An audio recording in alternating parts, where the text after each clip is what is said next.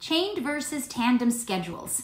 The chained and tandem schedules are both compound schedules. They require correct responding that must also occur in a specific order for reinforcement to be delivered. And that's easy enough with a, a chained schedule because each step serves as an SD for the next step and each completed step reinforces the previous step. So, you know, like filling your car with gas, each step must be done correctly and in order for the reinforcement, in this case, a, a, car full of gas.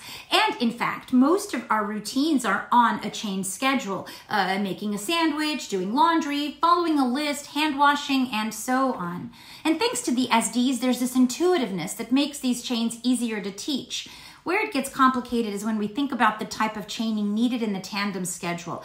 This, by the way, is probably why you don't see too much programming utilizing that schedule.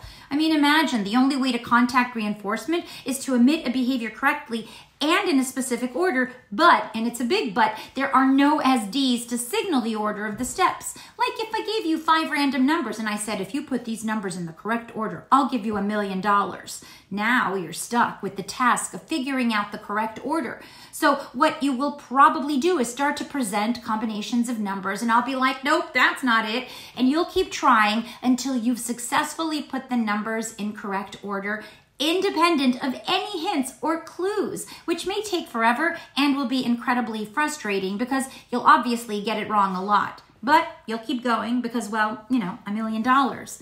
So think of the tandem schedule as trial by error until you get it right. Think corn maze or finding someone's house without a map or GPS or a bunch of random ingredients without a recipe and you've never cooked anything in your life.